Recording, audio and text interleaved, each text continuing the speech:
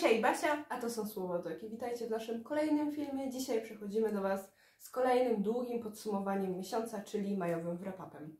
Mm, Zanim przejdziemy, chciałabym Was poinformować, że mamy nowe tło. Jeśli nie zauważyliście.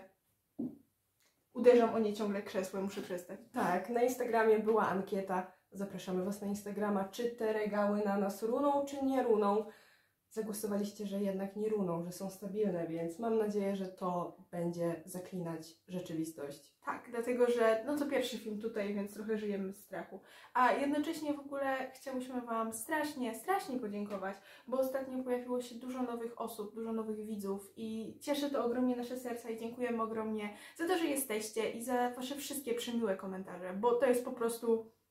Na serce. Ja, a ja jednocześnie czuję taki wstyd, jak je czytam. Mam ten taki imposter syndrome, więc mega, mega Wam dziękujemy za to, że jesteście i bądźcie dalej. Lecimy. Lecimy z intro, którego nie ma.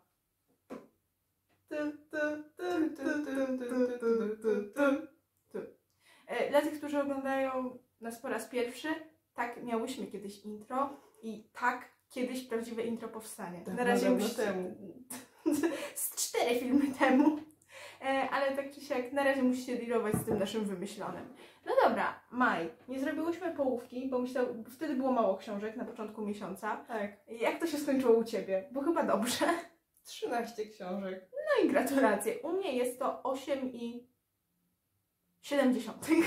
Ale Ty pracujesz, Ty się nie opierdzielasz, tak jak niektórzy. Nie no, czytasz książki, to jest jakby... Wolałabym mieć więcej książek, ale dla mnie ten miesiąc był taki, że nie mogłam się w dużej mierze skupić. Bardzo ciężko mi w ogóle było sięgnąć po papierową książkę, więc głównie Mhm. audio.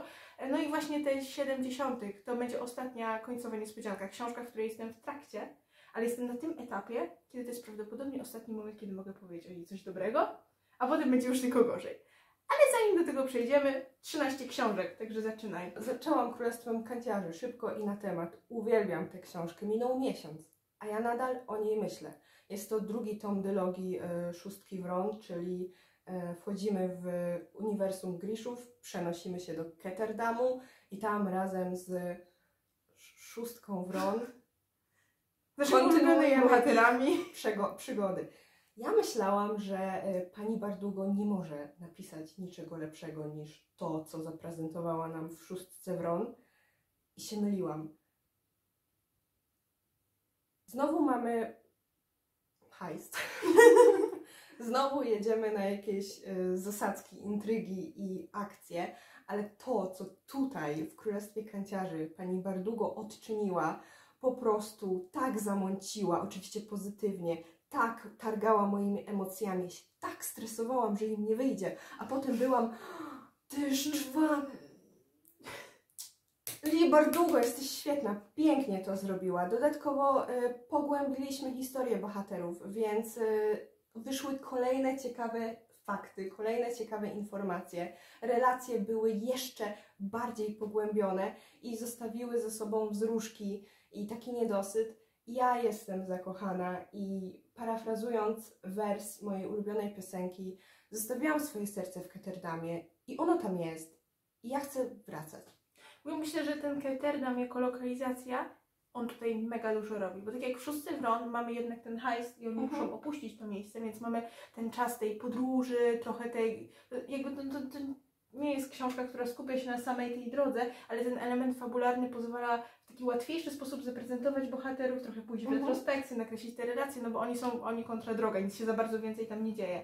A tutaj ten kunsztem jest to, że jesteśmy cały czas w jednym Tak. miejscu. I to miasto tutaj wybrzmiewa tak wspaniale, że szapoba, ja jestem wciąż zakochana i chciałabym ruszyć dalej w podróż e, do Uniwersum Griszów, ale nie mogę, bo muszę pisać magisterkę. Poza tym Anna z kanału Bestsellerki dała dzisiaj Tak, jedną gwiazdkę rządom wilków. Ale spokojnie, to nie jest król z bliznami. Będzie ok. Jeśli nie będzie ok, to możecie nas ostrzec, bo mamy duże nadzieje, a one powoli umierają, a my coraz bardziej odsuwamy przeczytanie tej książki ze Mhm. względu na inne obowiązki. Także. Okej, może dla osłody Książka, którą obydwie czytałyśmy. O, tak. E, tak, żeby zostać w, w uniwersum Griszów i trochę osłodzić ten strach przed y, dylogią o, o Mikołaju. Tutaj będzie mała powtórka y, z naszego book haulu, dlatego że ja już się zachwycałam tą książką, dostałam ją od Basi. Y, jak jeśli interesujecie się y, książkami Bardugo, to wiecie, że ta książka to jest w tym momencie Biały Kruk. Do tego przepięknie wydany, te ilustracje tutaj tworzą cały dodatkowy klimat. I, i, i język cierni to jest taki no, zbiór opowiadań, trochę baśni, które są bardzo mocno inspirowanymi, inspirowane na przykład historiami napisanymi przez, przez braci Grimm, przez Hansa Christiana Andersena, ale nie tylko. Tutaj też mamy takie odwołania do bardziej folkowych, mitologicznych klimatów E, i Bardugo te historie jakby troszeczkę wzięła, część rzeczy zapożyczyła, część odrzuciła i przeniosła je do tego Grishaversu, bo wychodzimy też, nie jesteśmy tutaj tylko w Rawce czy w Ketterdamie, ale mamy historie, które są e, wyciągnięte z Nowoziemia, albo historie e, z Fierdy i gra to niesamowicie dla mnie. Ty Mhm. też czytałaś tę książkę trochę później, e, Parę dni później. parę dni później. E, Ja jej słuchałam w audiobooku, więc tutaj mogę śmiało polecić, że jeżeli no, nie, nie macie po prostu możliwości dostępu do, do kopii fizycznej, ze względu na to, że ona jest po prostu trudno dostępna, to zdecydowanie polecam posłuchać, e, bo słucha się tego właśnie takich bajek z dzieciństwa z małym twistem. Tutaj bardzo ciekawie są w ogóle poruszone też wątki feministyczne, e, te, te, te opowieści bardzo dużo w ogóle oddają kobietom w taki z jednej strony w pewnym momencie już powtarzalny sposób, jeżeli czytacie historię po historii po historii, a z drugiej strony to cały czas według mnie gra, bo ma w sobie ten urok, ma w sobie ten czar i no jeżeli po prostu chcielibyście po śniu i kości wrócić do, y, do Grishaversu i zobaczyć, co tam jeszcze y, się dzieje, albo po prostu poczuć klimat czy rawkański, czy ketterdamski, to no ja pewnie będę się tutaj po raz kolejny powtarzać, ale tę książkę śmiało polecam, bo jest naprawdę świetna i to jest taka lektura na jeden naprawdę niezły wieczór. A ja się podpisuję. Basia Słowotoki. Nie wiem, może chcesz coś dodać? Nie mam nic do dodania. No dobra, w sumie już więcej książek, więc mogłam sobie pogadać o No. tej. Zdrówko, parówko. U mnie w domu się tak mówi. To jest na zdrow, zdrówko krówko. A, no. Kolejną książką, którą razem przeczytałyśmy jest Franek i Finka, Cyrk Martwych Makabresek, pani Anety Jadowskiej i nie będziemy się tutaj za długo rozwodzić, bo e, o tej książce nagrałyśmy oddzielny słowotok, który możecie znaleźć tutaj. A w skrócie e, obie jesteśmy zachwycone książką i e, wizualnie, i fabularnie, treściowo. Jest pełna humoru, pełna ciepła i pełna frajdy. Pozytywnych wzorców jeszcze bym tylko dodała. Takich, które ja przynajmniej i wydaje mi się, że ty też Mhm. chciałybyśmy prezentować dzieciom i młodym ludziom z naszego otoczenia. I A- o których chciałybyśmy więcej czytać. Także polecamy. A jeżeli jesteście cieka- ciekawi, co więcej możemy Wam o niej powiedzieć, to jeszcze raz zapraszamy Was do Słowotoku. Jest tutaj na górze. Czeka na Was. Jak, oczywiście jak skończycie ten film, jakby nie przeskakujcie. E, Misery Stephena Kinga to w ogóle pierwsza książka, którą skończyłam w tym miesiącu. E, zaczęłam jej słuchać w audiobooku pod koniec kwietnia, no i jakoś tak sobie powoli, powoli dobrnęłam, bo ta książka w sumie jest aż tak długa, przynajmniej, znaczy nie wydaje mi się, ona ma tak pod 400 stron, nie wiem jakim drukiem, ale podobno pod 400 stron, ale jednak tutaj ta historia jest dosyć powolna, y, co wcale nie jest niczym złym. Tutaj od razu to, to zaznaczam, mi się tego bardzo dobrze słuchało, bardzo w ogóle mówi się o tej książce, że ona jest taka najmniej kingowa z tego wszystkiego. Tutaj mamy bardzo dużo wątków też takich y, psychologicznych i prawie od pierwszej strony wchodzimy w świat głównego bohatera, który jest pisarzem, y, twórcą słynnej serii o tytułowej Misery, y, która jest taką serią, y, do której została przypięta łatka czytanej przez gospodynie domowe, które w ogóle uwielbiają tego autora, a autor stara się wyjść właśnie po, poza te ramy, które zostały mu pisarsko przypisane, no i w pewnym momencie w ostatniej części, którą pisze uśmierca Misery.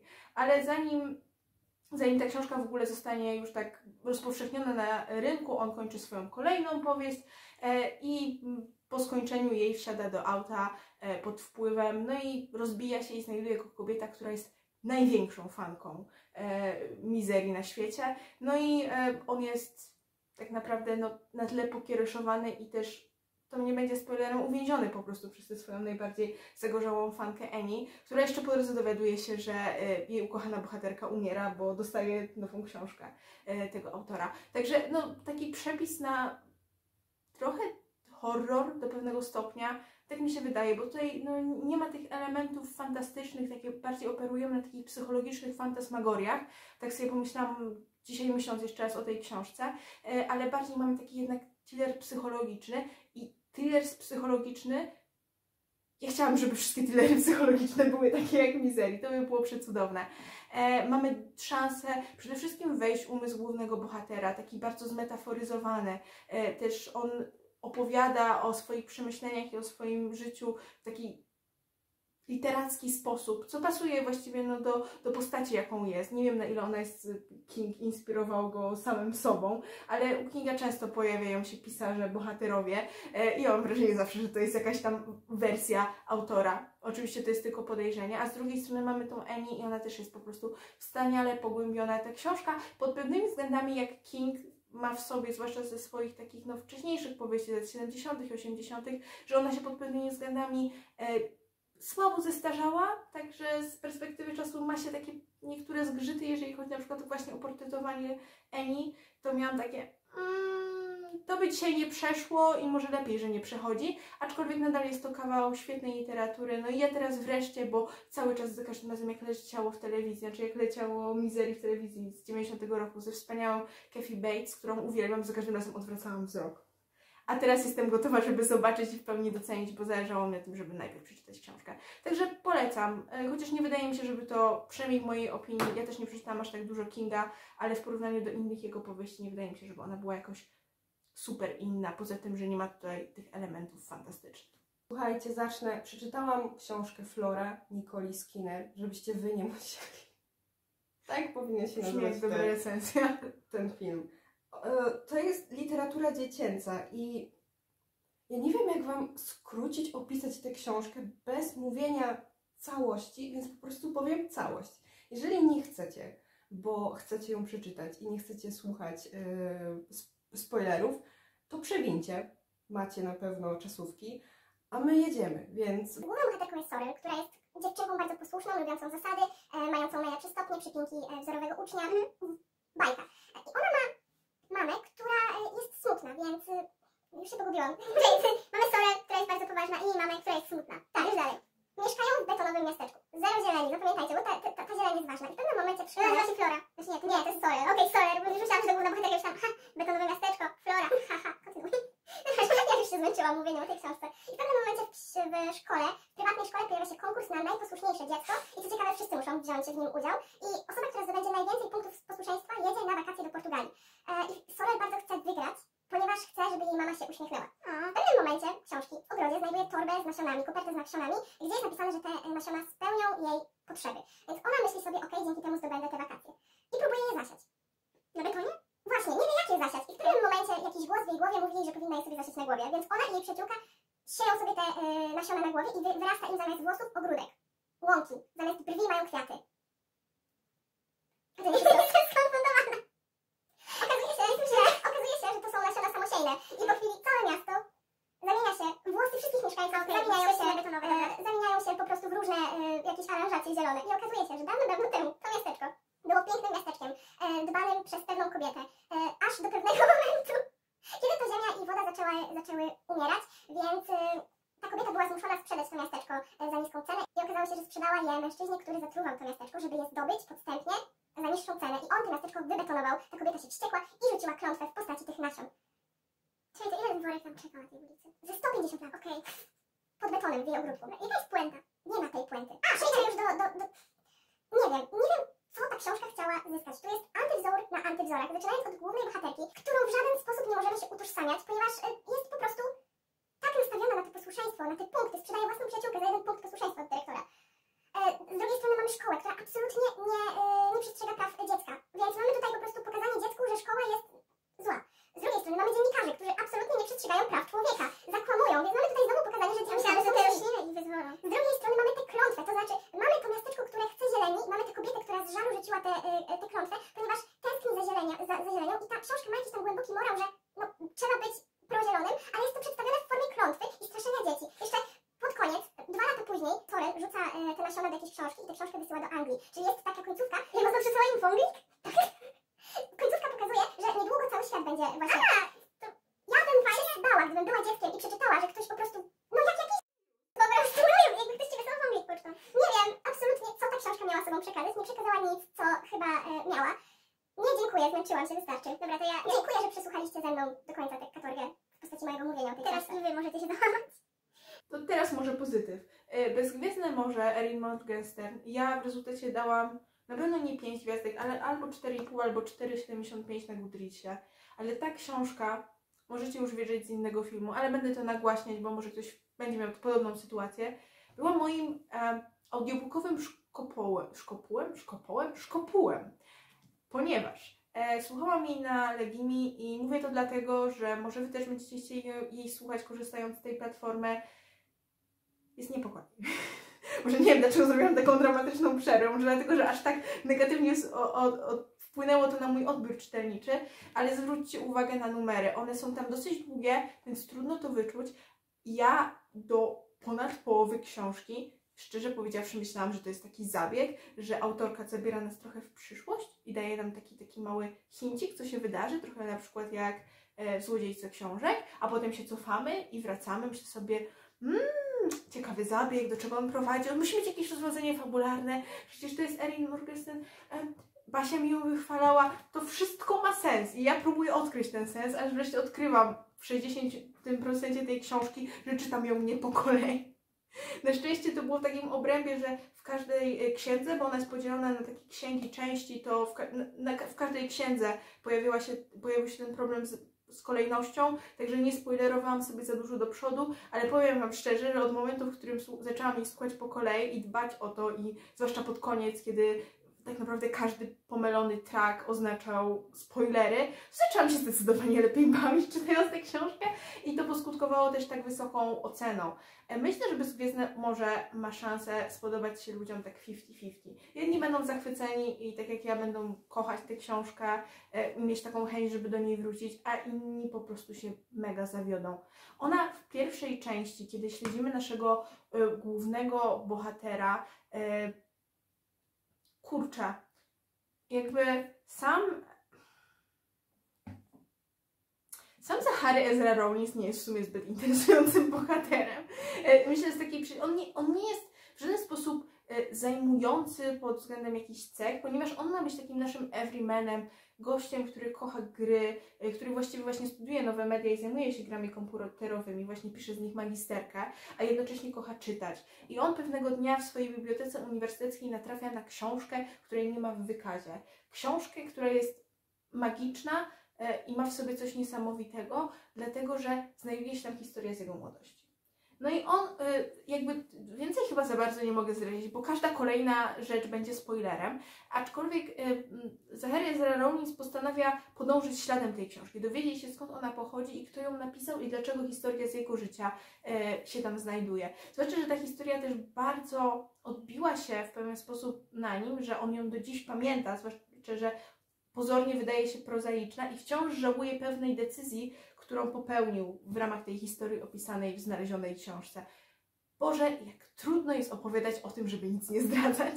Tak czy siak, e, ja już e, rzuciłam wcześniej takim hasłem tutaj na kanale, że e, gdyby Bezgwiezdne e, Morze było książką dla dzieci, to byłoby serią o Ulisesie Murze Pier Domenico Bacalario, ponieważ ono właśnie ma ten klimat. Ono też nawiązuje do masy innych dzieł literackich e, i daje każdemu zapalonemu czytelnikowi taki miód na serce, że on idąc ścieżką Zacharego Ezra Rollinsa czuje się jak w domu. Jakby Zachary Ezra Rollins właśnie pod tym względem jest takim trochę nerdem, trochę geekiem, gościem, który kocha książki od wczesnej młodości, który nie za bardzo może odnaleźć się w takich codziennych kontaktach społecznych i odkrywa ten świat, który prawdopodobnie chciałby odkryć każdy inny zapalony czytelnik.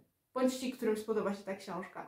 E, I do połowy nie mamy prawie żadnego zawiązania akcji, ona gdzieś sobie tam jest, ale my obserwujemy i chłoniemy ten świat, który wykreowała autorka. Cieszymy się takimi małymi rzeczami, taką misternością. Trochę jak, y, to też żeby Tobie nie zdradzać, kiedy Franku i Fince mamy scenę e, w księgarni i wszyscy się cieszymy, ponieważ dziewczynka kochająca czytać trafia do miejsca, w którym można kupić książki, jeszcze dostaje je od swojego dziadka, a tak naprawdę za darmo i może sobie wybrać ile chce. Ta książka przez większość to jest właśnie takie uczucie, masz takie jest takie piękne, że aż e, może zbyt piękne pod pewnymi względami. I tutaj ktoś mógłby się do tego doczepić, że właśnie ta książka trochę wywraca się i sama sobie podstawia nogę z tym, że przesadza w tej konwencji. A z drugiej strony, jeżeli ktoś tak, wydaje mi się, uważnie będzie czytał do końca, to może to był mój odbiór, ale ja mam wrażenie, że ona przed tym przestrzega. Ona właśnie przestrzega trochę przed taką idyllą z perspektywy już dorosłego człowieka, który próbuje spełnić do pewnego stopnia swoje takie czytelnicze, książkowe, marzeniowe nadzieje i oczekiwania z dzieciństwa. I na tym bym zakończyła. Mam nadzieję, że Was za- zachęciłam mimo wszystko do tej książki. E, wspaniale mi się czytało. I tutaj mamy jeszcze te wszystkie historie w historii, ponieważ fragmenty książek, o których jest nam opowiadane, są tutaj e, też na kartach, więc jednocześnie razem z bohaterami poznajemy te niesamowite opowieści, które stają się przyczynkiem do dalszej fabuły. Także bardzo polecam. Nie mogę się doczekać, aż wreszcie sięgnę po cyrk nocy, bo Bezgwiezdne Morze to, to było naprawdę coś.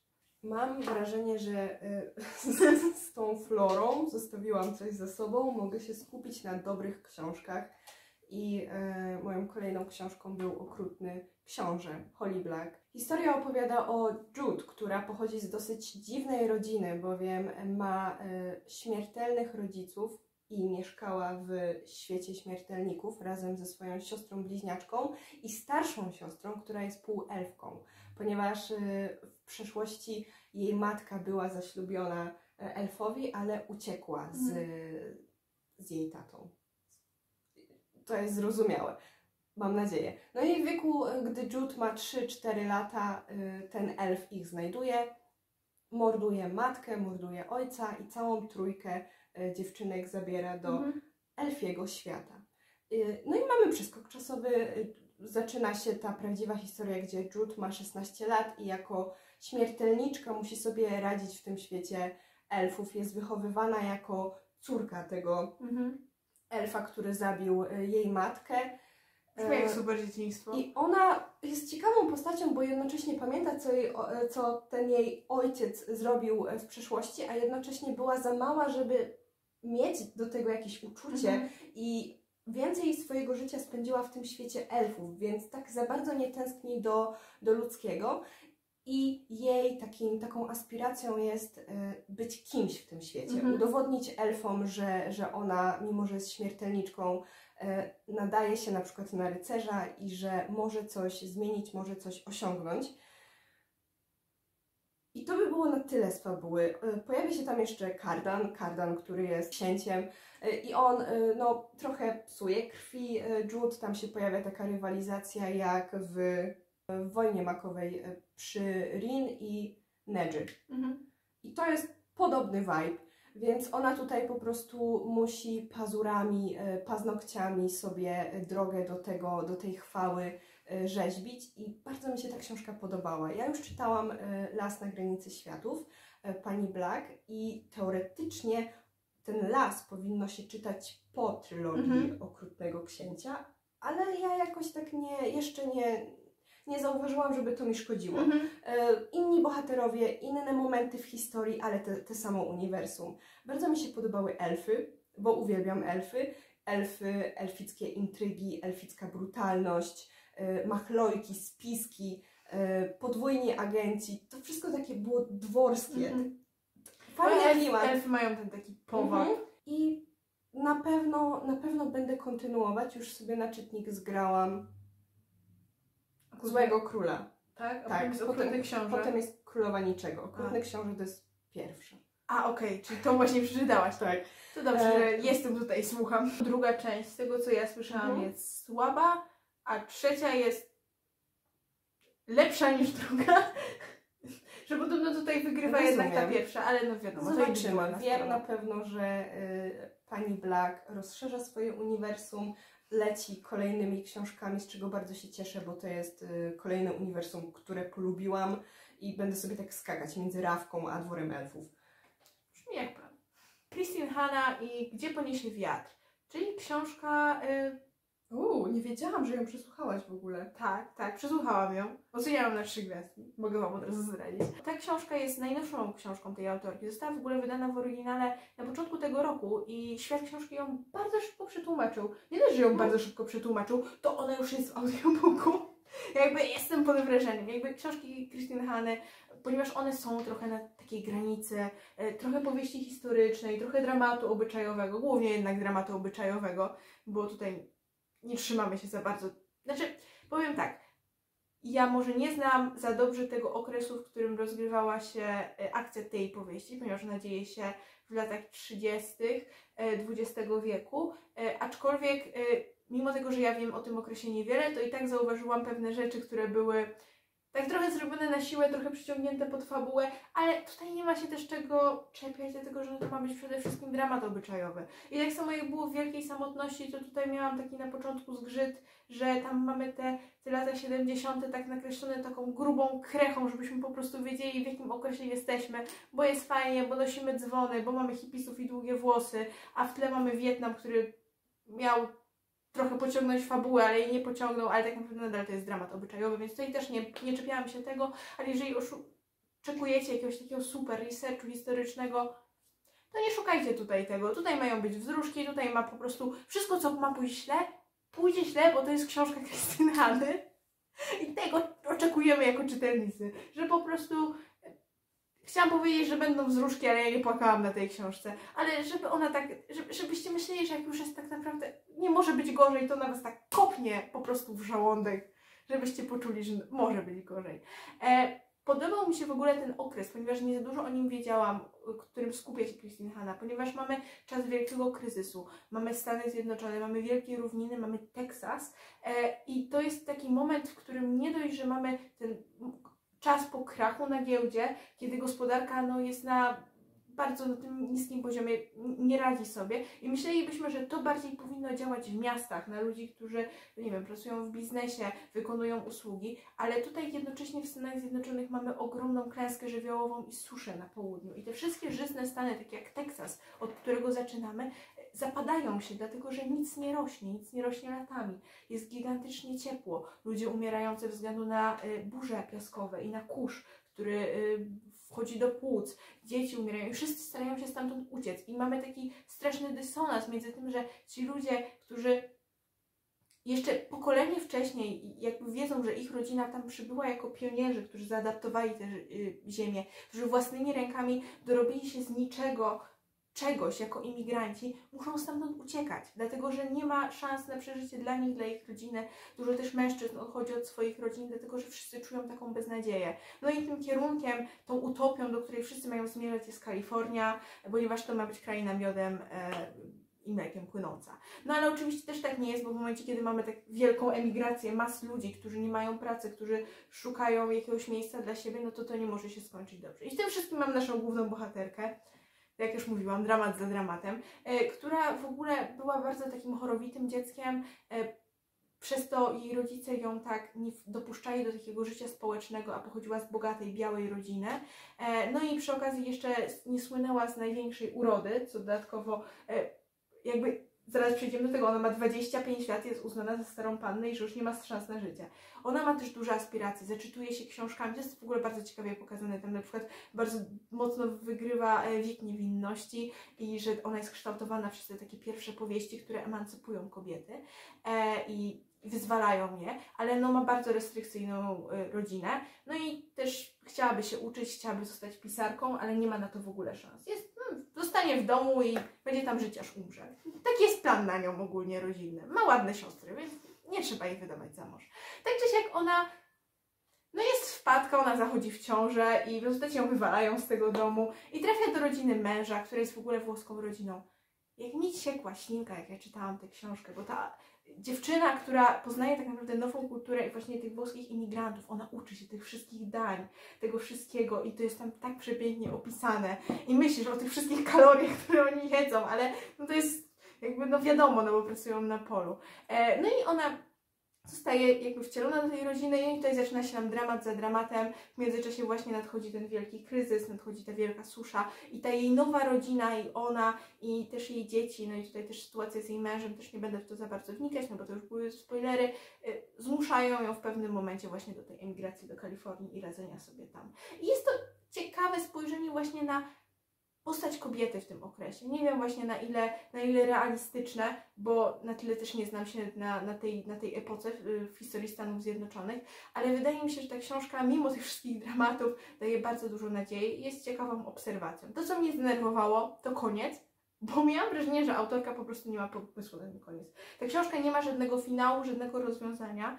E, Jak w Wielkiej Samotności trochę mnie e, ta taka patetyczność tego końca irytowała, to tutaj za to nie mamy patetycznego końca, przynajmniej w mojej opinii, ale on jest tak urwany i tak ścięty, że po prostu nie wiem, nawet nie wiem jak to opisać. Mogłabym tutaj wejść w spoilery i Wam powiedzieć, dlaczego tak sądzę, ale mm, jeżeli czytaliście już y, tę książkę, to, to dajcie znać, co myślicie o tym końcu, bo jestem bardzo ciekawa, żeby to w ogóle z kimś skonfrontować i bardzo chętnie z kimś porozmawiam, więc dajcie znać albo w komentarzu, albo możecie napisać do nas na Instagramie. Ja chętnie porozmawiam o tej książce, bo ona mnie trochę zachwyciła, trochę zdenerwowała. I mam takie, a. Ale chciałam z kimś o tym porozmawiać. Może ktoś z Was też się zna lepiej niż ja na tej epoce. I to tyle o tym, gdzie poniesie wiatr. W nie za dobre miejsca. O, O, mam ochotę wyjść. Kiedy będziesz mówić o tej książce? Wojna makowa. Rebeka Kłang. Mhm. Pierwszy tom trylogii wojen makowych. Rebeka Kłang. Historia o Rin, która jest sierotą wojenną, e, mieszkającą w rodzinie, która niezbyt ją lubi, niezbyt szanuje. Ogółem Rin ma przekichane w tej rodzinie i w pewnym momencie e, jej ciotka i wujek e, decydują się wydać ją za mąż, a ona stwierdza, że nie, że, e, że nie chce, chce się uczyć, więc e, zbiera swoje siły i startuje w egzaminie. Tak, nie pamiętam. No, egzaminie państwowym, który dopuszcza y, do po prostu dostania się na uczelnię. Tak. No I i dostaje się. Ona się dostaje i wyrusza tam. Kurczę, książka, z którą mam taki mętlik yy, w głowie nadal, ponieważ z jednej strony podobała mi się, z drugiej strony nie podobała mi się. Yy, Pierwsza część, ona jest podzielona na parę części i ten okres, yy, w którym jesteśmy razem z Rin w tej szkole i razem z nią kształcimy się, to najlepsze, co w tej książce jest. Dla mnie oczywiście. Bardzo mi się to podobało, bardzo mi się podobała ta taka szczegółowość tego języka, y, refleksje prowadzone przez główną bohaterkę, jej wybory, które podejmowała, żeby się dalej kształcić. Bardzo takie wybory y, dla niektórych może wręcz skrajne i brutalne. Y, relacje, które tam tworzyła, przyjaciół, wrogów, jej ambicje, nauczyciele, lekcje to wszystko emanowało takim klimatem właśnie e, szkoły, e, sz- szkoły ze sztukami walki ze wschodu. Piękne to było, naprawdę. Czytałam to e, w mig, to przeczytałam. Tak, to zdanie miało bardzo duży sens. Mik, cyk, cyk. I W mig przeczytałam tę część, a potem zaczęło się coś, o czym nie mogę niestety powiedzieć, i ruszyliśmy w drogę. I ta droga już niekoniecznie mi podeszła, bo ja wolałam zostać w tej szkole. Mhm. Naprawdę, ja się, y, oni mnie tam ciągnęli, a ja wracamy, wracamy, bo tam są, tam są zajęcia. Wracamy, ale nie, idziemy dalej. I te wybory, które tutaj y, autorka i Rin podjęła, kompletnie nie przypadły mi do gustu. Cała ta fabuła, która poszła dalej, w ogóle mnie nie interesowała. Nudziłam się okropnie, męczyłam się okropnie, znienawidziłam kogo trzeba było znienawidzić, y, wybaczyłam tym, kim trzeba było nienawi- wybaczyć. Co? Nadal nienawidzić. Wybaczyć. Nienawidzę tej Kochałam tych, których należy kochać, ale zakończyłam tę książkę z takim poczuciem, że mech.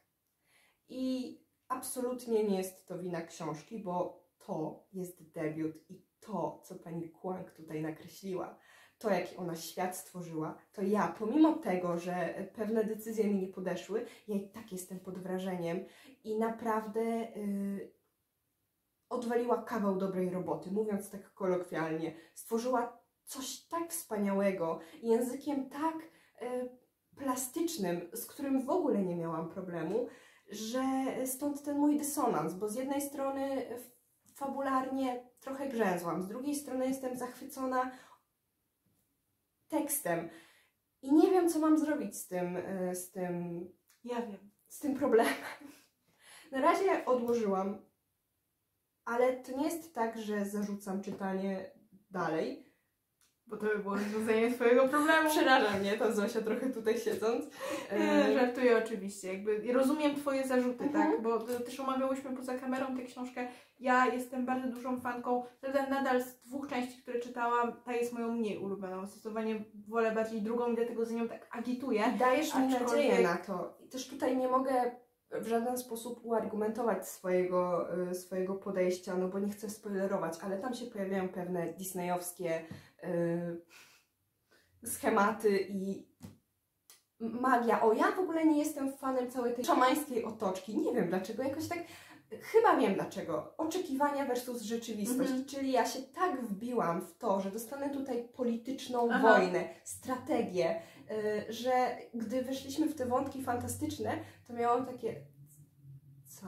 No tutaj to myślę, że musiałabyś Mhm. przejść, dlatego że ten szamanizm no jednak od momentu, w którym się Tak. pojawia, on będzie odgrywał rolę. I Ja muszę tutaj w ogóle w swojej głowie poukładać na nowo jeszcze raz. Na szczęście końcówka tej książki, o której nie mogę zdradzić, ułatwia mi zadanie i jestem w stanie się teraz dostosować do tego, co już wiem Mhm. i podejść y, z nowym podejściem, podejść z nowym podejściem do Republiki Smoka, bo po prostu tutaj moje oczekiwania uderzyły o Mhm. ścianę, dlatego, dlatego mi nie podeszło. Planuję, planuję mm, Republikę Smoka dokończyć przed płonącym Bogiem i wejść w płonącego Boga razem z Zosią.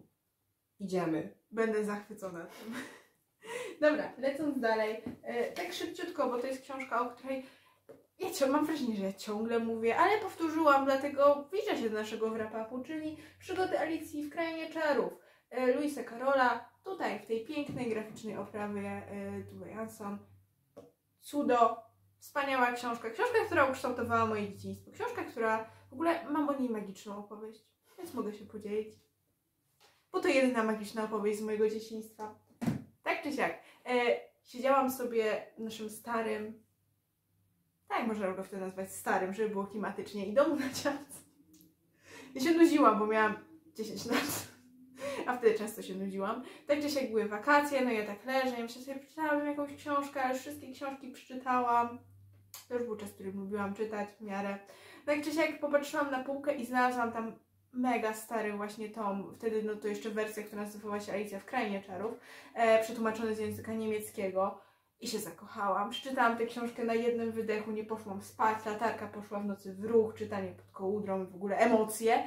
E, no wiadomo, że na tym etapie to ja już znałam tę disneyowską wersję animowaną, którą bardzo zresztą lubię po dziś dzień, ale ta książka jest niesamowita. Jeżeli nie lubiliście ją, jej w dzieciństwie, ja zachęcam do tego, żeby dać jej jako dorośli szansę. Dlatego, że ona otwiera przed nami nowe warstwy. To, y, co Karol tutaj zrobił, jest niesamowite. To, w jaki sposób on oczami dziecka próbuje obrazować świat dorosły, jego problemy, takie śmieszności, pewną ironiczność tego naszego dorosłego świata, przefiltrowaną właśnie przez wizję senne Alicji.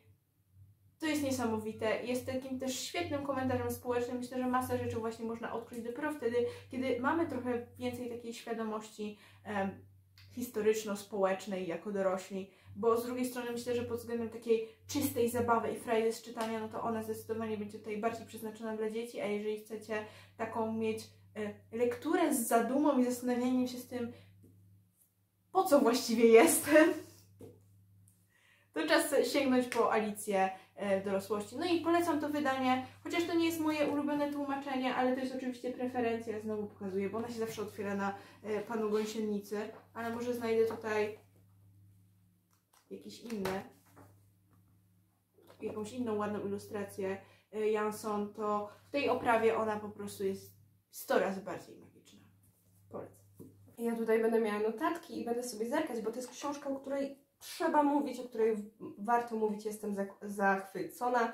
Angst with Happy Ending. Weronika e, Łodyga jest autorką i jest to jej druga książka. Pierwszą może znacie, Hard Comfort, która mi się podobała, ale nie tak bardzo jak e, Angst. E, Historia Aleksandra, który jest nastolatkiem ze swoimi nastoletnimi problemami i gdzieś w internecie poznaje Yuki, z którą e, nawiązuje pewną więź. Oni piszą z trzy miesiące, po czym stwierdzają, że fajnie byłoby się spotkać. No i na miejsce spotkania nie przychodzi wcale Yuki, ale chłopak imieniem Benjamin. I okazało się, że właśnie Yuki jest Benjaminem. Alex nie za dobrze na to reaguje, e, ale właśnie od tego spotkania zaczyna się tak naprawdę kształtować ich cała relacja. I jeżeli czytaliście, czytałyście pierwszą e, książkę pani Łodygi, to może wiecie, że ona tutaj w tej drugiej również porusza się po takich znanych rejonach, e, również opisuje problemy nastoletnie i ja uważam, że to jest bardzo ważne, żeby dawać nam takie książki, które pokazują te takie niby zwyczajne problemy nastoletnie, e, które jednak są jakoś tak zamiatane pod dywan i to jeszcze w dodatku przez dorosłych, którzy przecież też byli nastolatkami i też posiadali te problemy, ale łatwo o tym zapomnieć. Łatwo zapomnieć o tym, że e, mieliśmy kiedyś po 15 lat i po prostu coś nas bolało, bo teraz nam się wydaje, że boli mocniej i to, co boli, jest ważniejsze niż tamto. I oprócz takich właśnie problemów młodych ludzi jest tutaj też poruszana tematyka LGBTQIA+, e, co też jest dosyć charakterystyczne dla tej autorki, bo e, w jej pierwszej książce mieliśmy homoseksualnych bohaterów i tutaj też to się pojawia. E, I pojawia się to w takiej otoczce szukania siebie, jednocześnie e, w otoczce szukania akceptacji społeczeństwa i pokazywania, jak różnie społeczeństwo reaguje na różnorodność. I z jednej strony mamy tak, bardzo tu fajnie kontrastowo jest to pokazane, że z jednej strony mamy mm, pokazaną tę akceptację, ale z drugiej strony też brutalny brak akceptacji. E, I ona czasem jednocześnie balansuje na takim idealnym podziale pokrzepienia Mhm. i obdzierania z nadziei. I, I to jest cudowne. Oprócz tego pokazany jest też problem przemocy domowej i jest to wątek, który wycisnął mi łzy i y, z którym nie potrafiłam przejść y, do porządku dziennego. Mamy, mamy tutaj y, historię Anity, która e, należy do wielodzietnej rodziny. E, Jej ojciec jest alkoholikiem i w zasadzie to ojcu jest podporządkowana cała ta rzeczywistość. Mamy tutaj świetnie opisaną parentyzację. Mamy tutaj pokazanie, jak bardzo dzieci e, potrafią być bezradne tym, że rodzice są bezradni i jak to świetnie e, przypomina, że takie historie istnieją i że powinniśmy pamiętać o tym, że to nie jest tylko w książkach, że są takie dzieci. I całą tę książkę postrzegam jako, przy- jakie tak, jako, tako, ach, jako takie przypomnienie o tych najmniejszych. Yy, Nawet jeżeli oni mają 17 lat, o tym, że to są nadal dzieci, należy je chronić, należy zapewniać im dom, bezpieczeństwo i miłość i przede wszystkim akceptację. A może nawet nie przede wszystkim, tylko cały ten wór, który tutaj wymieniłam. Yy, Bardzo ujęła mnie ta książka, naprawdę końcówka też, y, nie, o której nie mogę tutaj zdradzić, no bo to by były spoilery, ona fajnie pokazała, że autorka otwiera się na, na te takie w tym całym, w tej całej palecie różnorodności, na te takie najrzadsze odcienie, które się pojawiają. Zostawia właśnie miejsce dla tych, którzy, o których jeszcze nie słyszeliśmy, e, których jeszcze nie znamy i których jest najmniej, ale też są i też są wa- ważni. Ledwo mówię ze wzruszenia. Ale to, co mówisz, jest piękne. Dziękuję. E, oprócz tego, oprócz tego takiego e, ciężkiego dla mnie bagażu, książka jest niesamowicie wzruszająca, niesamowicie zabawna.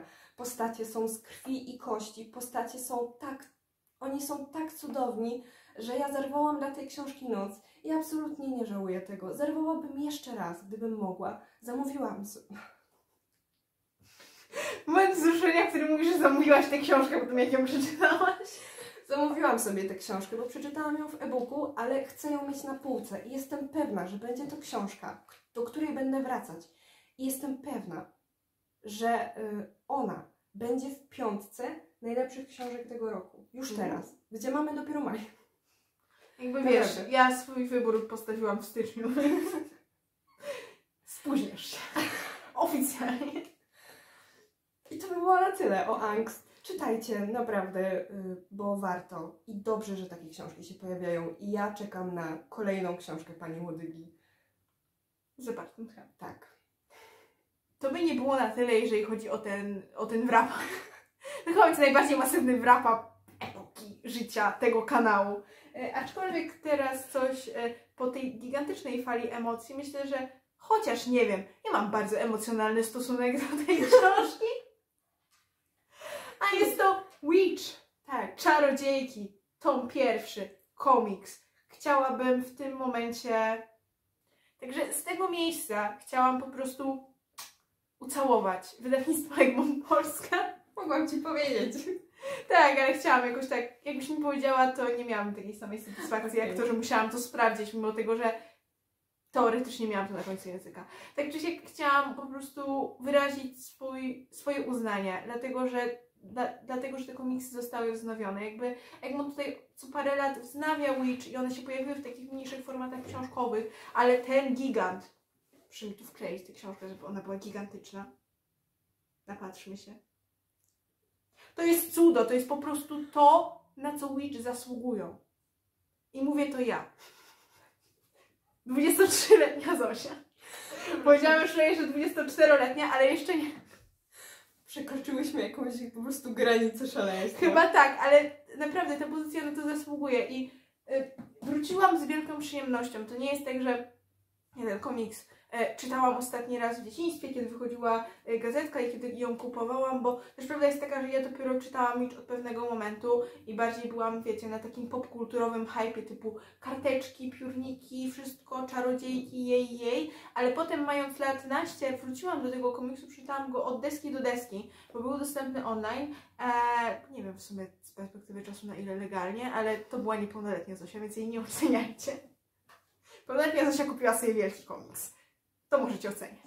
E, tak czy siak, y, i, i wtedy się zakochałam. Stwierdziłam, wow, to jest świetna seria. I teraz do niej wracając, myślę sobie, wow, to jest jeszcze lepsza seria niż pamiętałam. Dlatego, że Witch mają tę taką, wiecie, łatkę różowości, dziewczynskości, e, czegoś takiego niskich lotów, co w ogóle jest samo w sobie abominacją, dlatego że nic co dziewczyńskie i dziewczęce nie powinno być traktowane stereotypowo jako coś gorszego. Nauczmy się tego. To się zmieniło w wiec prawie że polityczny. Ta moja super krótka recenzja Witch. E, tak czy siak, jeżeli czytaliście w dzieciństwie, to polecam, bo jest to świetny e, powrót do świata, który gdzieś tam pewnie siedzi w waszym serduchu. Jeżeli nie, też warto sięgnąć. E, albo polecić na przykład młodszemu rodzeństwu, albo komuś, kto po prostu lubi komiksy. Dlatego, że one są ciepłe, wspaniałe, pokazują różne sytuacje życiowe. To jest coś, co na rok, kiedy te komiksy zostały wydawane w Polsce po raz pierwszy, czy 2002, 2003, to było coś niesamowitego, że mamy właśnie e, bohaterki różnej etniczności, z różnym tłem, ta, ta w ogóle ich sytuacja rodzinna też wpływa na to, jak są traktowane przez społeczeństwo, a mają lat 12, 13, 14 i to jest tak super, a przy okazji mamy świetną kreskę, wspaniałą przygodę i tak naprawdę taką historię, która z jednej strony ona jest prosta, bo była wydawana w gazetkach jako komiks w odcinkach, więc musimy mieć sobie jakieś przypomnienie i kiedy czytacie to w jednym tomie tych y, sześć pierwszych arków, które tam są, to czuć czasem takie okej, typu co się wydarzyło w ostatnim odcinku, nie? I nawet wydawnictwo Egmont to tak czasem śmiesznie zaznacza, typu to było kilka stron wcześniej, wiemy, że o tym wiecie, ale na poziomie gazetek no to oczywiście nie działało, a to jest taki no, rzeczywisty przedruk. E, to jednak to nadal działa. Mnie te historie porwały. Co u Ciebie? Bo Ty też czytałaś. Ja też to przeczytałam i ja tu się podpisuję. Basia Słowoteki. Mnie też urzekło. Ja może nie miałam takiego e, powrotu do e, sen, sentymentalnych czasów, bo ja bardziej e, czytałam odlotowe agentki. Witch to gdzieś tam na, w podstawówce na korytarzu, gdy koleżanka mi pokazywała i ja szybko czytałam na przerwie, bo mogłam tylko jedną gazetkę. I wybrałam odlotowe agentki. Nikt się za to nie osądza. Też może bym, w sumie chyba też bym wybrała wtedy. No, od czasu do czasu gdzieś tam jak byłam u babci i na Jetixie leciał Witch, to wtedy o, oglądałam, no ale mimo wszystko i tak mnie też dotknęła, też zawsze chciałam być Will i po prostu e, byłam zauroczona tym i super przygoda. Tak kończąc tak bardzo kolokwialnie w porównaniu do tego, co Ty tutaj powiedziałaś. Bardzo mi się podobało. Na nowo odkryłam i też taki powrót Mhm. i jednocześnie taki nowe dzieciństwo, które sobie Mhm. tutaj e, w dorosłym życiu zbudowałam. E, I chcę mieć tę księgę. To jest jedyna notatka, którą tu sobie wpisałam, że chcę mieć tę księgę. Więc y, może niedługo będę ją kupowała. Myślałam, że mi powiesz, może niedługo ci ją ukradnę. Słuchajcie, tom drugi już e, się zbliża, pierwsza połowa czerwca. Mhm. Na pewno możecie się spodziewać, że u którejś z nas Się pojawi. Tak, no i że będziemy to dalej czytać, bo ja, ja zamierzam zbierać tę serię. Ona jest naprawdę warta No tego, też. żeby ją przechować i tak nawet przytrzymać, nawet teraz czytając jednorazowo dla następnych pokoleń. Myślę, Mhm. że to jest właśnie ta wartość, którą przynoszą te komiksy i to jest super i teraz chcę obejrzeć serial i Trochę tak. Ja jeszcze przyszło mi do głowy, że e, z tego dzieciństwa, które mam, te e, wszystkie czarodziejki dla mnie wydawały się takie bardzo płaskie, ponieważ byłam wtedy dzieckiem i nie za bardzo rozumiałam, a teraz wchodząc w te historie, widzę jakie one są różnorodne i jakie każda e, posiada problemy, bagaż. z którymi próbuje e, dealować. I to jest niesamowite, że jak sobie myślę, że mogą to czytać małe dziewczynki i się z Mhm. tym utożsamiać. Właśnie, bo tutaj targetem mógłby być, myślę, takim predestynowanym, jeżeli chodzi o to, powiedzmy, backstory każdej z dziewczyn, każdej z bohaterek, są osoby, które są w ich wieku.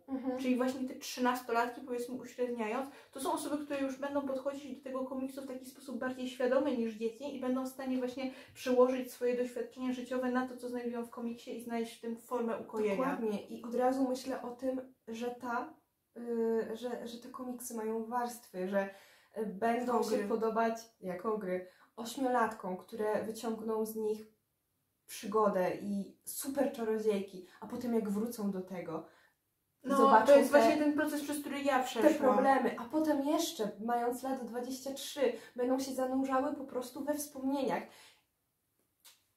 Także wiecie, To jest piękne. Piękne jest to, gdy literatura dociera do No. każdego, tak naprawdę. także czytajcie Witch. Dwie stare baby polecają. Przejdźmy dalej. Moją kolejną książką było Małe Licho i Anioł z Kamienia Marty Kisiel i tutaj od razu powiem o kolejnej książce pani Kisiel, Dożywociu, bo one też są troszkę związane Mhm. ze sobą. Ale zaczynając od Małego Licho, Licha, Licho. e, no właśnie nie wiem, bo Licho nie ma płci, jest aniołem. Więc Ale- tutaj Okej, ale to, to po prostu nie powinno się odmieniać. Licho to imię. A, No właśnie. Myślałam, że jakby licho jak... Jak uli- Licho. Nie myślałam u licha i... To nie ma sensu. e, Jak będę źle odmieniała, to, no to wybaczcie. W każdym razie jest to drugi tom trylogii jak na razie, ale mam nadzieję, że to będzie jakiś dłuższy cykl o Bożątku, o Bożydarze, który jest dziesięcioletnim chłopcem i mieszka w wielkim domu razem z dwójką wujków, z mamą, z własnym aniołem stróżem, z drugim aniołem stróżem, By żyć nie umierać. Z e, potworem w kuchni z wielkimi ma- mackami, z mniejszym potworem pod łóżkiem, z mniejszymi mackami, z czterema różowymi królikami, z trzema niemieckimi czy austriackimi duchami na strychu i utopcem w łazience. I tam jeszcze jest jeszcze dryada. E, Żyć nie umierać. więc nie jest to zwyczajny chłopiec. E, Też e, jego pochodzenie to jest pewna tajemnica, o której Wam tutaj nie mogę powiedzieć. E, No i w tej drugiej części on wybiera się na ferie zimowe. Razem z tym drugim aniołem, Sadkielem, który gdyby nie był aniołem, na pewno byłby elfem. To jest wypisz, wymaluj elf. Po prostu jest chłodny, rozważny, posągowy, legolasowy. I to powinien być oficjalny przymiot. Tak. E, I ja tutaj zarówno pierwszą część, jak i drugą część przesłuchałam w audiobooku i chciałabym powiedzieć, że pan Wojciech Chorąży, który te książki czyta, jest oficjalnie moją miłością audiobookową i zrobił to w taki sposób, że wyciągnął ze mnie to małe dziecko i sprawił, że ja po prostu razem z tym dzieckiem się cieszyłam. E, Byłam tym dzieckiem. To, jak on świetnie to przeczytał, jak on świetnie odegrał te wszystkie językowe e, zabawy, które tam pani Marta Kisiel wplotła, to jak on pięknie zagrał te postacie. W drugim tomie jest postać Czorta, który nazywa się Bazyl i pan, panie Wojciechu, pan to zrobił tak pięknie, że ja brak mi słów, naprawdę. W życiu mi się tak audiobook nie, nie podobał. E, Książka e, pani Marta Kisiel, to co ona tutaj stworzyła, to też jest dla mnie majstersztyk. Ona jest zabawna, ona jest wzruszająca, ona jest mądra. Ona jest tak mądra, nie, to jest porównanie. Ona leży na tej półce mądrych książek dla dzieci obok pani, e, obok Franka i Finki, pani Jadowskiej. No to jest najwyższa półka tutaj. to jest najwyższa półka. Flora przy tych książkach to w chowa. piwnicy. I w sieje. piwnicy pod piwnicą. Co? E, I ja jestem zauroczona tym światem. Zakupiłam sobie już całą trylogię, bo jej nie mam. Jeszcze jej nie mam, ona dopiero do mnie jedzie. Ale jest na tej półce. Ale ona będzie na tej półce. E, I automatycznie dożywocie, czyli tak naprawdę opowieść dziejąca się w tym samym uniwersum. Około 10 lat wcześniej mamy tutaj e, historię wujka Mhm. Bożydara, No, wujka Konrada, który pewnego razu dostaje wiadomość, że dostał w spadku dom A, z dożywotnikami. I on przyjeżdża do tego domu i okazuje się, że w tym domu mieszka mały anioł w bamboszach, który nazywa się Licho, a także utopce, y, kra kraken. Czyli mamy prequelik. Tak. I y, z tym dożywociem jest bardzo ciekawa sprawa, ponieważ to teoretycznie jest książka fabularna, a bardziej takie długie opowiadania. Mhm. Cztery albo pięć, w zależności od wydania. Ja czytałam te cztery, więc jak dostanę nową, bo też ją zamówiłam, to tam będzie już z, nowy, z dodatkowym opowiadaniem, które sobie przeczytam.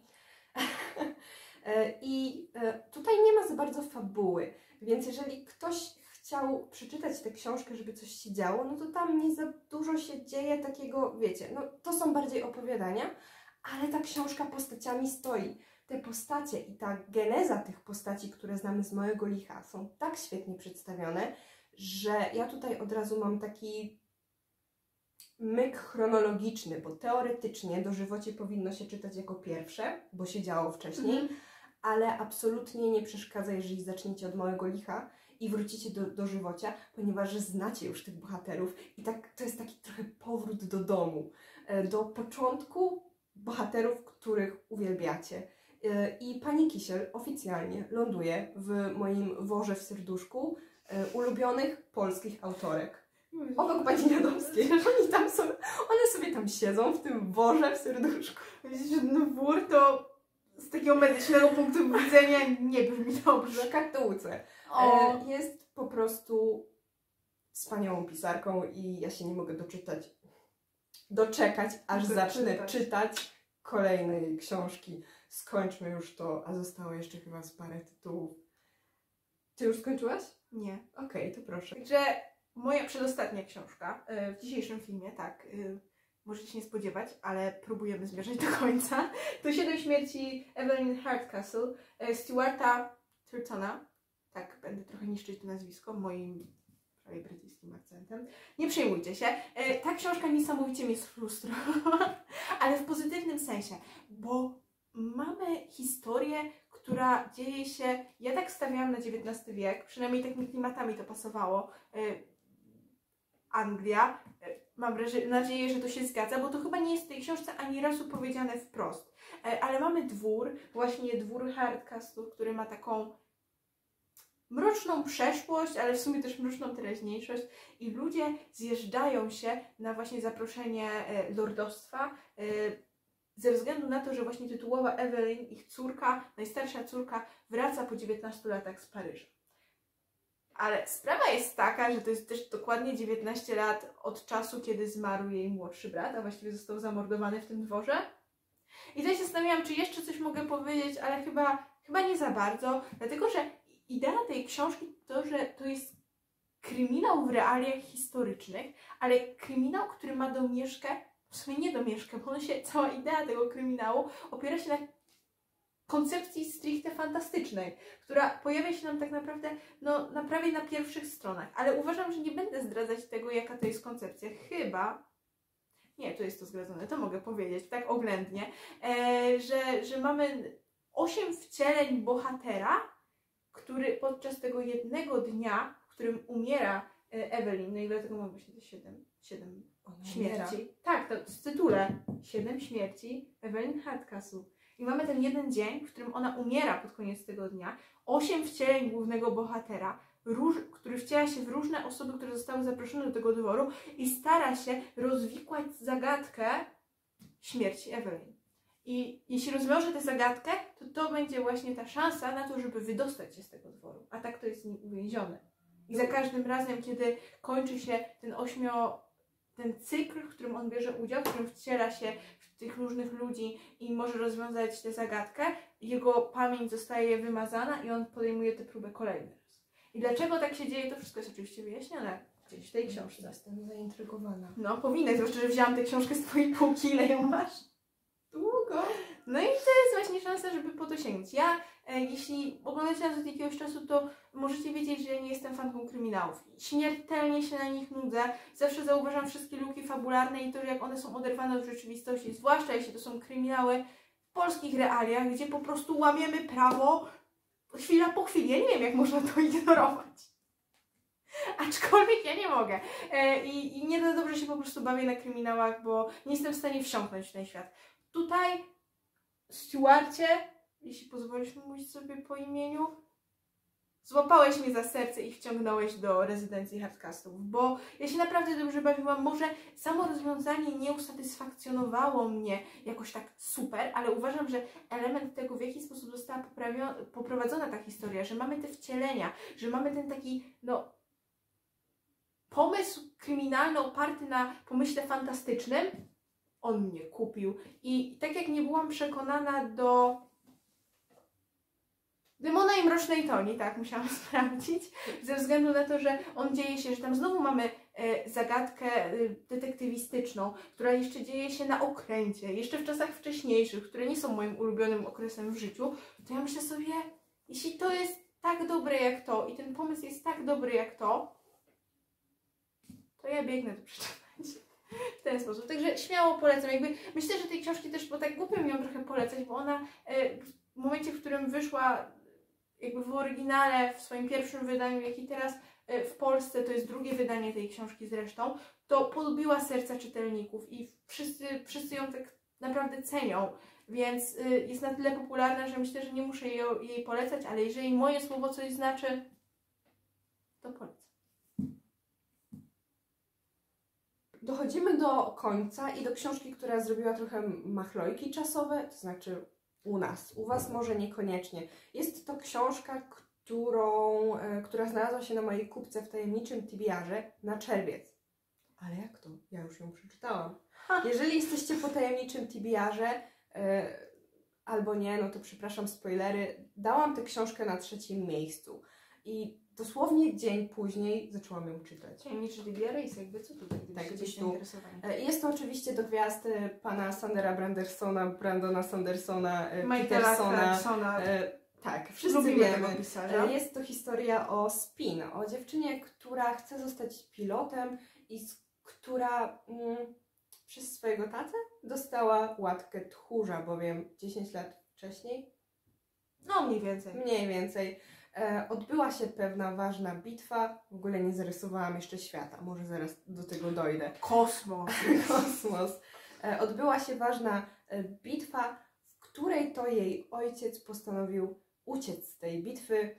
Mm, No i e, musieli go zestrzelić, on zginął, został okrzyknięty tchórzem i e, Spin przez resztę życia musiała żyć z, tym, e, z tą łatką, co jest bardzo fajnie tu pokazane, ale zaraz do tego dojdę, nakreślenie świata, więc jest sobie planeta na D, nie pamiętam jak się nazywa, gdzie 80 lat wcześniej e, mały statek z ludźmi wylądował awaryjnie i postanowił się tam osiedlić.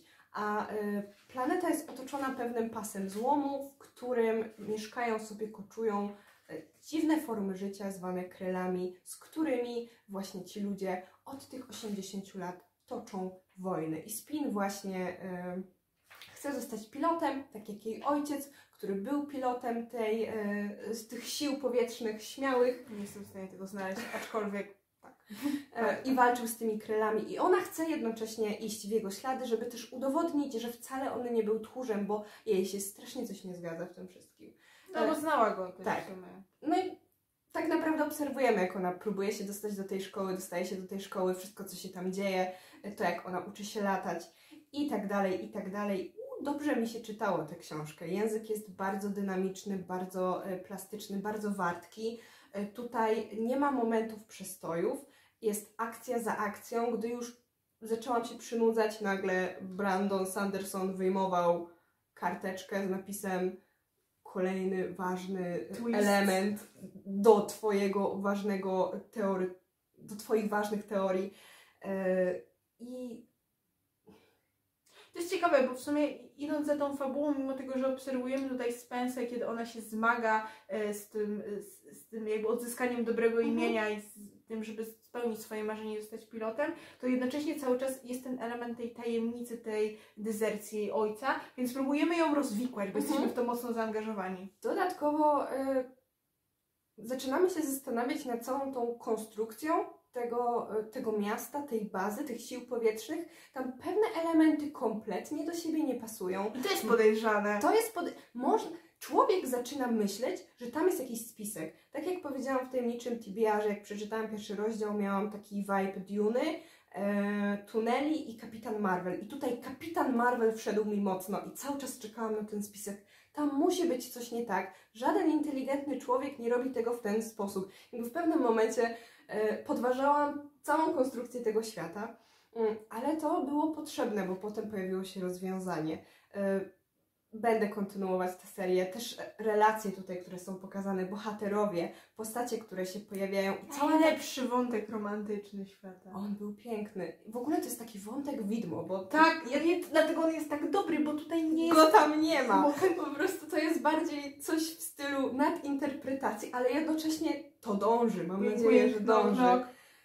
I e, też droga, którą Spin musi przeżyć, to jak ta łatka tchórza na nią oddziałowuje i łatwo można pomyśleć, że ona jest po prostu irytującą bohaterką. Ja tak czasem myślałam, denerwowała mnie, ale tak naprawdę za tym kryje się cała, e, cała ta machina mechanizmów, e, które zbudowały ją, te wszystkie decyzje tych sił powietrznych, e, te wszystkie obelgi, relacje, których nie udało jej się wytworzyć, e, to, że ona całymi dniami e, uciekała do tuneli, żeby nie musieć e,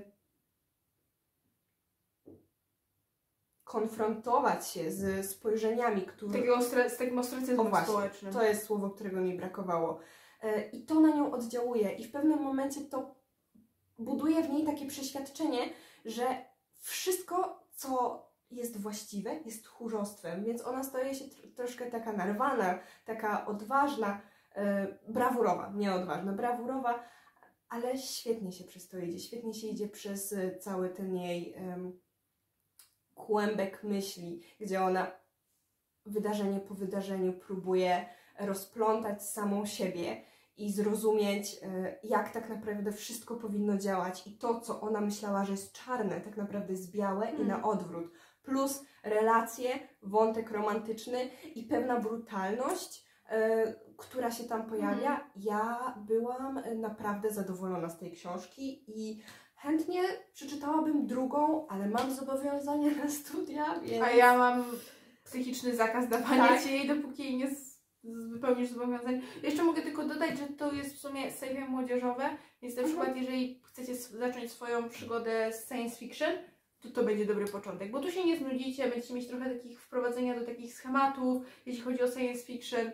Jednocześnie jest trochę, y, to jest takie science fantasy, troszeczkę. Tak, no ale to jest też Brandon Sanderson. Mhm. To też jest chyba pierwsza w ogóle w tym klimacie takim science fiction, a nie fantasy jego książka, no i w ogóle seria, więc. To jest moja pierwsza książka tego autora, jestem zadowolona i też tutaj odnośnie tego gatunku, że to jest taka trochę hybryda, bo mamy też tu na przykład takie e, wątki tego wybrańca. Mhm. Coś tam się, e, nie wiem, nie wiem, Potem. nie wiem, ale coś tam się rysuje e, z tą pewną magicznością, która się tam pojawia. No ona ma. Myślę, że to bardziej w klimacie niż w fabule, ale, ale zgadzam się.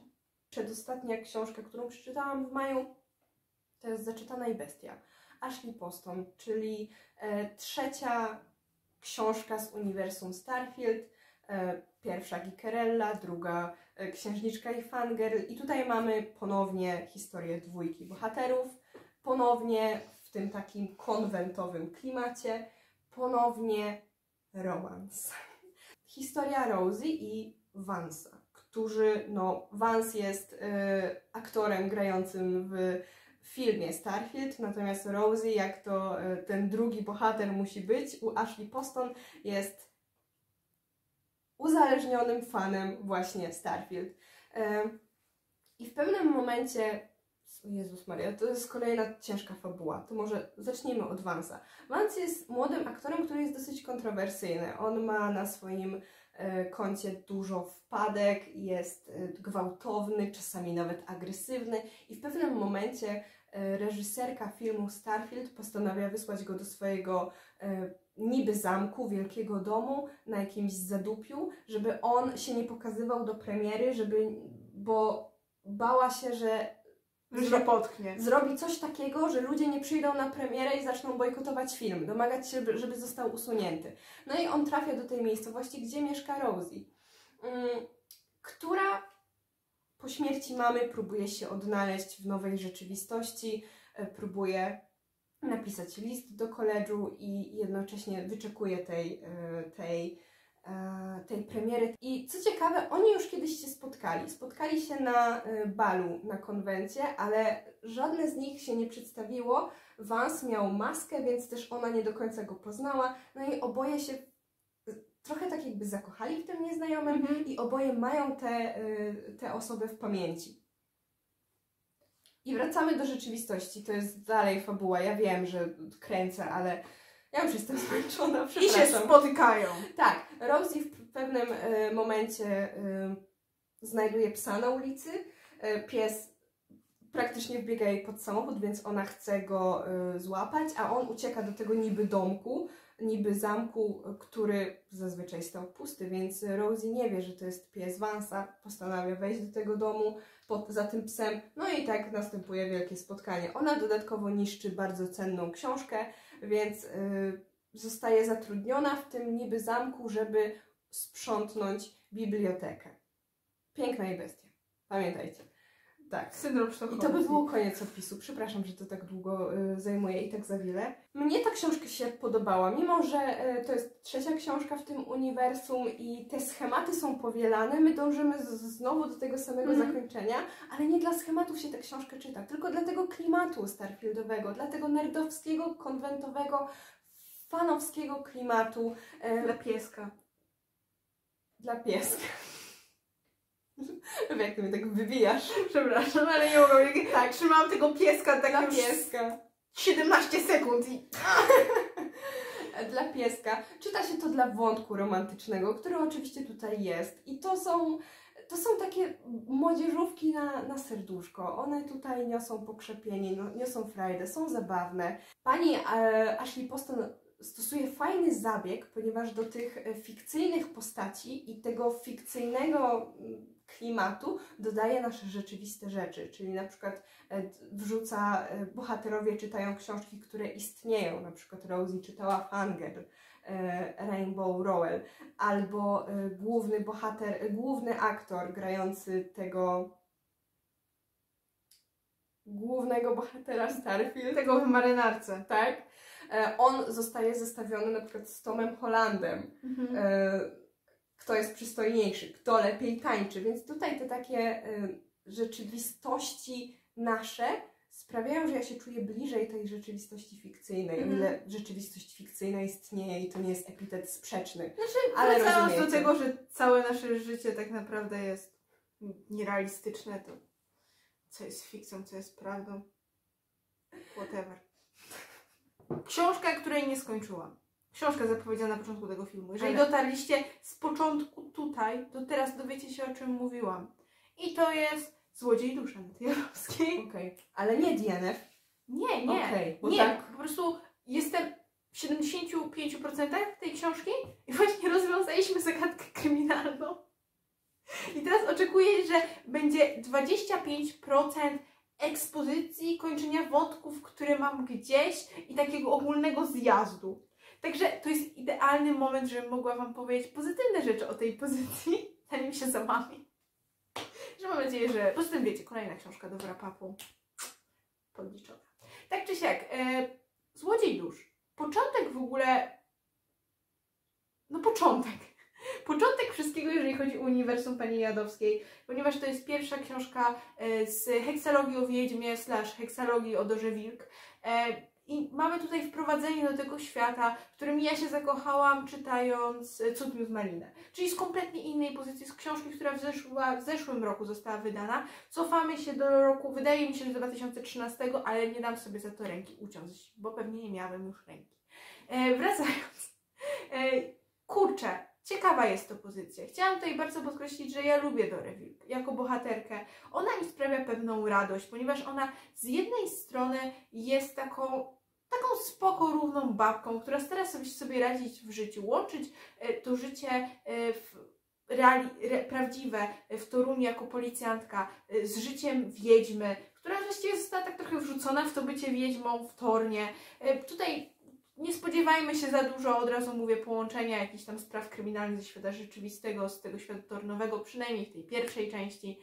Aczkolwiek e, z Dorą to jest trochę tak, że ona, widać, że pani Jadowska chciała bardzo stworzyć bohaterkę, która z jednej strony będzie silna, a z drugiej strony będzie grała na tych bardzo wrażliwych nutach typu jaka jest rola kobiety w świecie, z tego z czym muszą kobiety się zmagać, e, jeśli chcą postawić na swoim, jeśli, to już nie, że w świecie, w świecie, który jest nadal do bólu przesycony patriarchatem. I tutaj Jadowska to bardzo fajnie pokazuje. Z drugiej strony odsłania takie elementy tej takiej wrażliwości Dory, których ona się wstydzi. I to jest strasznie prawdziwe, bo pokazuje, że te cechy traktowane męskie, znowu wracamy na poziom Witcha, są społecznie traktowane jako prymarne do cech, które są bliskie kobietom. I ta nasza Dora, która z jednej strony stara się odnaleźć w tym męskim świecie, stara się w sobie gdzieś wyciszyć te damskie cechy. Z trzeciej strony ona jest jednak wiedźmą, która jest połączona z tymi kapłankami płodności, więc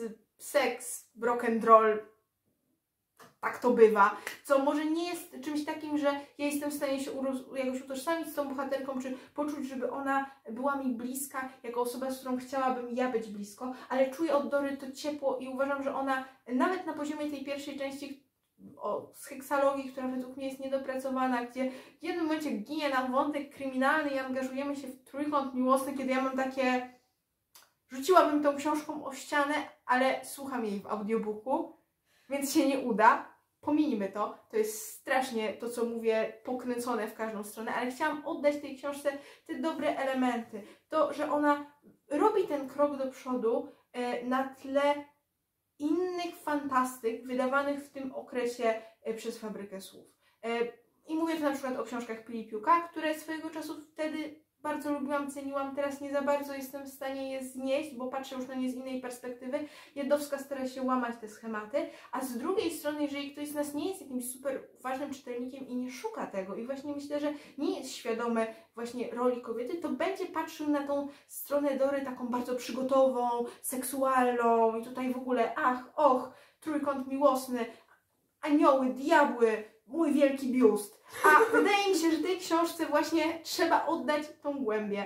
I ja tutaj zawsze będę, mimo tych właśnie takich schematów, tych trójkątów miłosnych, tych takich niektórych uproszczeń, tego odejścia od tego wątku kryminalnego, który wreszcie zaczął mnie interesować w pewnym momencie, chcę oddać to, że nadal bohaterowie są super. Jakby, może nie w tym sensie, że ja ich jakoś super lubię, ale są fajnie wykreowani. Widać, że Jadowska miała na nich pomysł. Jestem bardzo ciekawa w ogóle już tej serii o Witkacym, ponieważ Witkacy na poziomie tej pierwszej części zdobył w pewien sposób moją serię Mhm. i ja bardzo chętnie przeczytam tę trylogię, e, mimo tego, że jeszcze, że jeszcze nie skończyłam tej książki. Także ja wiem, że czeka mnie 25% tej książki, na której ja prawdopodobnie zacznę walić głową w ścianę z frustracji tego, że to całe dobro, które tutaj znalazłam, zostanie właśnie wyciśnięte i trochę zepsute względem oczywiście moich oczekiwań, a nie samego poziomu tej książki. To nie zmienia to faktu, że będę kontynuować tę serię. Także możecie czekać na kolejne chaotyczne omówienia w tym stylu. Dziękuję. To była ostatnia książka tego miesiąca ode mnie. Przekazuję Ci głos na swoją ostatnią książkę. Ja trochę jestem przerażona nami dwiema dzisiaj. Ja nie wiem, kim bardziej, czy mu, Chyba bardziej twoje- tobą. Ja jestem, jest, wybuchła we mnie energia w pewnym Ja momencie. czasem, czasem po prostu e, twoja emfaza. Ja czasem widzę, jak ty umierasz. Zastanawiam się, czy ta moja emfaza przekroczyła już tę granicę, w którym będę czuć cringe, jak na siebie patrzę, czy takie No cóż, je- taka przebojowa osoba. jeżeli tu jesteście, to znaczy, że w jakiś sposób dotknęłyśmy waszej duszy, więc oto my.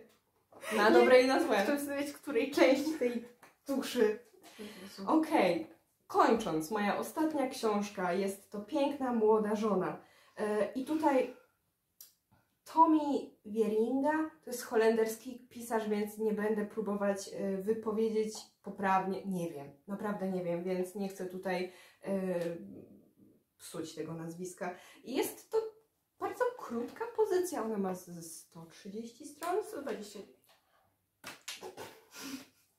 Widziałam twojego Goodreadsa po prostu. Tak, 129 stron y, i opowiada o małżeństwie. O małżeństwie dosyć specyficznym, ponieważ różnica wieku między żoną a mężem wynosi 14 lat.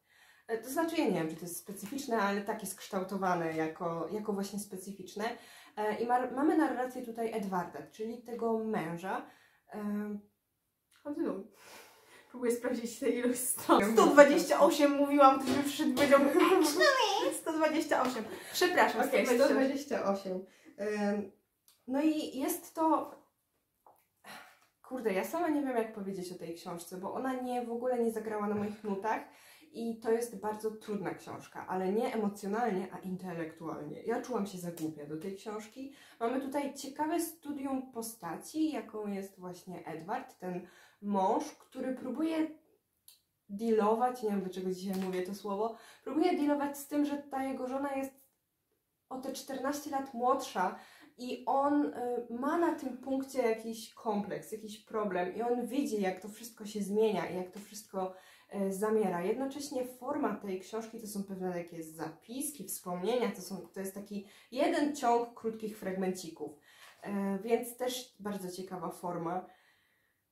Nie wiem, jak podejść do tej książki. Tam oprócz tego małżeństwa, które na początku wydaje się takie bardzo idealne, ale potem zaczynają się pewne pęknięcia i nie wiadomo, czy te pęknięcia wynikają przez ten wiek, czy bardziej przez to, jakim człowiekiem jest ten Edward Mhm. e, i jak bardzo różnią się na poziomie takich chociażby zainteresowań czy poglądów razem z, z tą żoną. E, I oprócz tego mamy tutaj ciekawe rozważania, takie troszkę jakby mini eseje o cierpieniu zwierząt, ponieważ e, Edward jest. Mm, I on zajmuje się właśnie badaniami zwierząt i on bada te zwierzęta na fredkach. Natomiast jego żona, Ruf, jest zagorzałą weganką i wprowadza ten, ten weganizm Mhm. do ich życia. I oni tutaj, tak, i oni tutaj po prostu zgrzytają. I y, przez całą tę książkę Edward poszukuje takiej odpo- odpowiedzi na takie pytanie, czy zwierzęta potrafią cierpieć. Bo to, że odczuwają ból, to jest pewne. Tymczasem, czy potrafią cierpieć, bo cierpienie jest. On Cechą definiuje je, definiuje je jako em, wspomnienie o bólu. I Mhm. pytanie, czy zwierzęta są do tego A, zdolne. I tutaj są takie ciekawe e, rozważania odnośnie właśnie e, tego, tych zwierząt. I co ciekawe, pod koniec te rozważania okazują się, ja to tak interpretuję, ale nie czuję się nie czuję się mądra w tej książce, czuję się głupia w tej książce, ale te rozważania e, tego Edwarda, gdy to małżeństwo się sypie, te rozważania stają się pewnego rodzaju taką metaforą tego związku. I to jest ciekawa perspektywa. Nie dla mnie książka, ona nie zrobiła we mnie niczego, naprawdę, ale jednocześnie zmusiła do jakiejś refleksji. Wiecie, ja, no, ja nie byłam fanką, dałam jej trzy gwiazdki, ona jest taka, pewnie ją zapomnę, nie zrobiła we mnie jakiejś dziury, e, ale z drugiej strony takich książek też potrzebujemy. Jeżeli jesteście ciekawi, e, zerknijcie. Ja sięgnęłam po, dlatego, że była krótka i jak to bywa, wyrżnęłam nogą o krawężnik, bo spodziewałam się krótkiego romansu, bo tak było napisane w opisie, że to będzie romans. Tymczasem weszłam w rozważania, czy zwierzęta mają duszę. Niesamowite. Okej, i ja oficjalnie skończyłam ten dwugodzinny wrap-up. dwugodzinny u nas, ale byłyśmy niezborne. Ciekawe, ile to wyjdzie ostatecznie. Także uwaga, dobrnęliśmy do brzegu. Jeśli wciąż tu jesteście, Ja, mnie, mnie nie ma. zwykle to jest tak, że ja na tym etapie mówię Wam, że to jestem zdziwiona, bo ja bym tutaj nie była, aczkolwiek dzisiaj to ja weszłam w tę fazę, emfazę, a Ty uciekasz. Jestem świadoma tego szaleństwa, które się dzisiaj tutaj zadziało, aczkolwiek no to jest mój pewien sposób e, reakcji na zmęczenie. A w naszych wrap-upach jak w pewnym momencie muszę sama się doładować, żeby iść dalej. Ale tak czy siak, jeżeli tu jesteście, gratuluję. Wasz order. Proszę. Tu jakąś cebulę. E, żeby tego wszystkiego nie przedłużać, dajcie znać po tym mega długim wrap-upie, co udało Wam się przeczytać w tym miesiącu, bo to zawsze nas mega ciekawi. Może czytaliście coś z tego, o czym mówiłyśmy, także dajcie znać, opowiedzcie, co o tym myślicie, żebyśmy mogli tak wspólnie pokonfrontować nasze wrażenia. E, co jeszcze? Jak zwykle, zapraszamy Was na nasze Goodreadsy, jeżeli chcecie wiedzieć na bieżąco, co czytamy, z czym się zmagamy w ciągu miesiąca, głównie z książkami, o których Wam potem tutaj opowiadamy. E, A poza tym oczywiście zapraszamy Was na naszego Instagrama, e, tam częściej bądź rzadziej dzieją się różne rzeczy. Teraz mamy chwilowy zastój, ale myślę, że wrócimy na stronę częściej. No i co? No i do następnego. Trzymajcie się. Pa!